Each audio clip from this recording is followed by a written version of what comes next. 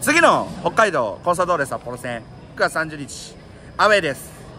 アウェイに札幌に来た方柏レイソルサポーター限定でアウェイステッカー配ります。限定50枚。この日この日しか配る配るつもりはありませんので皆さん札幌に来られた方小池にぜひお声がけください。じゃあ札幌で会いましょう。